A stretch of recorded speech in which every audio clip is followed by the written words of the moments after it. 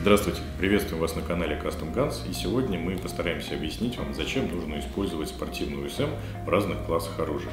УСМ эти можно использовать в карабине, ружье и карабине пистолетного калибра. Везде есть свои особенности и я постараюсь вам все это объяснить.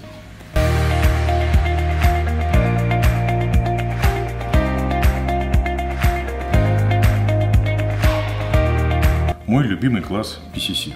В данном случае это Сайга 9. Он довольно сложен для, с точки зрения работы ОСМ. Почему? Потому что, с одной стороны, у вас идут очень быстрые сплиты на ближних мишенях, по скорости сплитования он не уступает, на самом деле, ружью.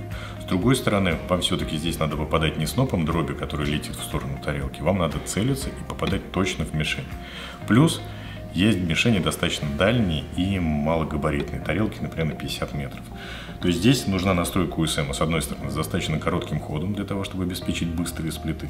С другой стороны, нельзя жертвовать информативностью спуска и четко понимать, как он срабатывает и когда, потому что иначе вы, вам будет тяжело попадать в дальние мишени. Ружье. Открытый класс естественно, сайга или вепрь. Здесь основное, это нужен максимально быстрый сплит, при этом вам нужно четко понимать, в какой момент произойдет выстрел, потому что стандартная техника стрельбы из ружья, вы ведете ружье, да, и в нужный момент у вас происходит выстрел, когда вы проносите через тарелку. Но при этом не стоит забывать, что в ружье есть еще и пулевые упражнения, в которых мишени могут располагаться там на 100 метров и дальше.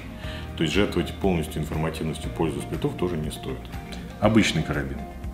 Здесь в приоритете информативный спуск, потому что для нас самое важное попадать на дальние мишени, вплоть до 300 метров. Поэтому здесь важна информативность, а сплитование уже не столь важно. Поэтому здесь имеет смысл даже настроить двухстейджевый УСМ.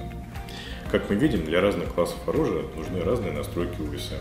Но штатный УСМ обычно отличается крайней вязкостью, неинформативностью, длинными ходами и не подходит ни под одно из этих использований. Поэтому надо взять УСМ, который вы можете настроить под себя, под конкретный класс оружия, в котором вы выступаете. Собственно, это и позволяет сделать наши УСМ.